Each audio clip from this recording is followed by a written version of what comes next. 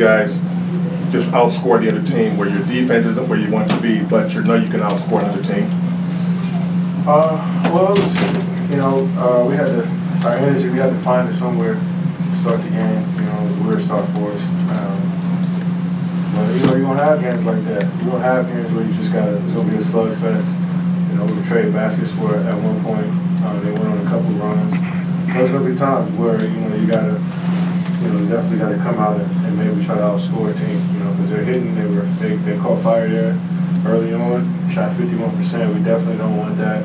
Definitely want to do some things better on the defensive end, but for the most part, um, you know, we got stops when we needed them. You know, we made huge plays, got rebounds, and um, kicked out for easy shots. So, you know, guys came to play. You know, we picked the energy up there a little bit later, and um, our crowd was definitely into it tonight.